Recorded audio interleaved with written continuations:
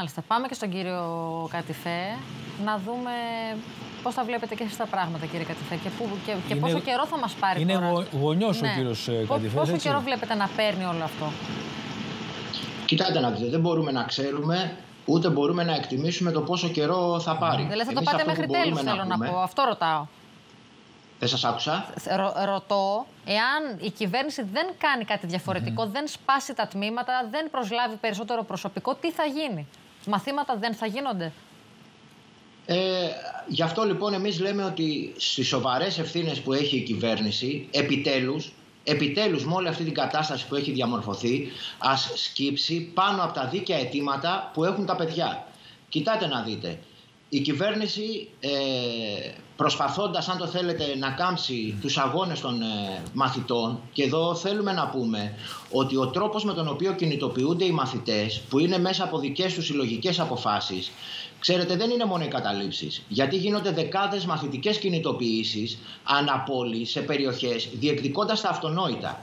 Και εμείς ως γονείς, αυτό που λέμε είναι ότι Βέβαια, πραγματικά... κύριε Κατηφέ, λένε, λένε κυβερνητικά στελέχη ότι σε αυτές τις ε, ε, συγκεντρώσεις μόνο λέει μαθητέ δεν είναι. Έτσι, ακούσαμε και τον κύριο Γεωργιάδη. Εντάξει, τώρα δεν θέλω να κάνω σχόλιο. Ο κύριος Γεωργιάδης είναι αυτός ο οποίος δεν δέχτηκε ούτε καν με μαθήτρια να μιλήσει εχθές, να συνομιλήσει στο δικό σας κανάλι. Συνεχίζω λοιπόν για να ακουστούν πραγματικά αυτά που διεκδικούμε εμείς οι γονείς, που δεν διαφέρουν από αυτά που διεκδικούν και οι μαθητές αλλά και οι εκπαιδευτικοί. Ποιος γονιός δεν θέλει σήμερα το παιδί του να πηγαίνει σε σχολείο που θα έχει όλους τους καθηγητές. Θα σας πω χαρακτηριστικά ότι αυτή τη στιγμή στη δευτεροβάθμια εκπαίδευση λείπουν 8.000 εκπαιδευτικοί. Αυτό σημαίνει ότι χάνονται πάνω από 170.000 διδακτικές ώρες την εβδομάδα.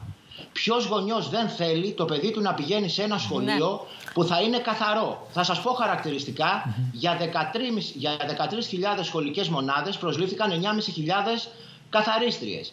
Και είναι και χαρακτηριστικό το ότι ε, με τιμωρητικά μέσα προσπαθεί η υπουργός ε, ουσιαστικά να κάμψει τους αγώνες των παιδιών, αλλά εμείς θέτουμε ένα σοβαρό ερώτημα. Και καλούμε αυτή τη στιγμή το Υπουργείο να πάρει πίσω την τελευταία του εξαγγελία. Γιατί κοιτάτε να δείτε, αν ένας μαθητής δεν έχει τα ηλεκτρονικά μέσα ή δεν έχει τη δυνατότητα ίντερνετ και δεν μπορεί να συμμετέχει στην τηλεεκπαίδευση. Αυτός ο μαθητής θα παίρνει απουσία. Προκύπτει και πάλι πρόβλημα. Και ποιος είναι, Βάλατε και ποιος πολλά- είναι Βάλατε πολλά πραγματικά ερωτήματα. αυτός Κύριε